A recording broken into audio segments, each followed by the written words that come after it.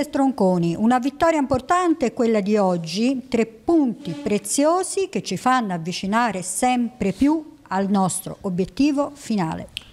Sì, tre punti preziosi perché appunto vengono anche dopo un periodo in cui c'era le prestazioni ma non c'era il risultato, eh, ma noi eravamo convinti di quello che stavamo facendo perché i ragazzi stavano bene, la squadra si stava esprimendo bene, quindi non c'era da preoccuparsi, tant'è che oggi è venuta una vittoria con eh, appunto i buonissimi primi 30 minuti dove abbiamo schiacciato il Signa nella loro metà campo, abbiamo palleggiato dentro per poi trovare l'ampiezza fuori e, e abbiamo fatto male eh, sulle ampiezze, quindi loro sono stati bloccati sulle fasce, era il loro punto forte quindi eh, bene, tre punti, tre punti d'oro. Sapevamo che era una partita difficile contro una squadra che lotta per la scalata ai playoff. Sì, sì, eh, infatti si, si, parlava anche prima con il loro allenatore, era un obiettivo che stavano cercando appunto di raggiungere e quindi anche loro lottavano per un obiettivo importante. È una squadra che nella partita di campionato, nella partita di Coppa appunto noi eravamo usciti sconfitti, quindi l'abbiamo affrontata con tutta l'umiltà e l'attenzione possibile e questo, e questo, poi si è tramutato in campo in, in un gran primo tempo. Prossimo turno il Figline sarà ospite al Gino Bozzi contro la Rondinella, un match decisivo per la classifica. Sì, è decisivo, decisivo per la classifica perché potrebbe darci la, la, la matematica, stiamo aspettando la matematica per poter esultare appieno. Matteo Serrotti, da due partite stiamo vedendo il vero Matteo a Figline? Ma ehm, sì, diciamo che ehm, ho, ho, acquistato più condizione fisica, era tanto che non giocavo, quindi... ma anche penso l'integrazione con la squadra. Ehm, comunque ci vuole, ci vuole, quel tempo per...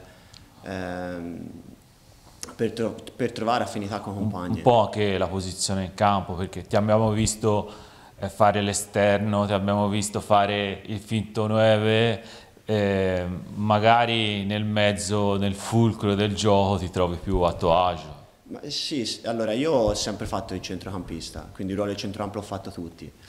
Eh, quando sono arrivato mi sono messo a piena disposizione dell'allenatore e sicuramente negli ultimi anni questo è un ruolo che, mm, dove mi trovo, mi trovo, bene, mi trovo meglio. È un ruolo che non, che non, ho mai fatto perché ho sempre fatto la mezzala, però eh, negli ultimi anni è un ruolo che mi piace. Parliamo della gara di oggi, una grande, un gra una grande vittoria quest'oggi del Figline, era da un mese che non facevamo il bottino pieno. Come hai visto la gara? Sì, allora è stato bello intanto tornare a vincere e farlo in casa Ehm, non, era non, era così scontato come, come è sembrata perché insomma, il Signa è una buona squadra. E siamo partiti forte, potevamo fare due o tre gol. Eh, poi è normale che non è che c'è stato un calo secondo me, è che eh, il Signa comunque ha alzato la pressione e, e, noi comunque nella seconda parte del primo tempo abbiamo gestito un attimo la situazione era impensabile di poter fare il primo tempo, tutto quel primo tempo a quell'intensità. E poi siamo stati bravi a fare la seconda rete subito, eh, inizio secondo tempo. Quindi... Un gran gol di Gabriele Vangi che in pratica ha tagliato quasi le gambe al Signa. Non si è visto più tanto in attacco, solo l'ultimo tiro che ha scheggiato la traversa, ma ormai i giochi erano fatti. Sì, eh, vabbè, Gabri in area di rigore è, è letale. Domenica prossima, senza stare a fare tanti giri di parole, eh, con punto andiamo in Serie D, quindi ci vorrà la tua esperienza contro la Rondinella, ma soprattutto la squadra che abbiamo visto questo pomeriggio. Sì, eh, sappiamo che, che, insomma, sapevamo che erano tutte finali, quindi lo sarà anche domenica eh, per coronare questo, eh, questo obiettivo eh, che c'è da, da quest'anno anche dall'anno scorso.